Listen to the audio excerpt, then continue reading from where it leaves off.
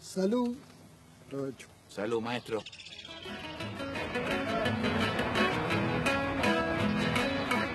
En el marco de los festejos vendimiales, una de las actividades más representativas es el desfile de reinas por la ciudad. El primer viernes de marzo, hombres, mujeres, niños y ancianos toman las calles céntricas. Allí pueden apreciar los carros alegóricos y las reinas de cada uno de los departamentos que participan del desfile en la noche de la Vía Blanca. A la mañana siguiente se repite el desfile en el carrusel de las reinas.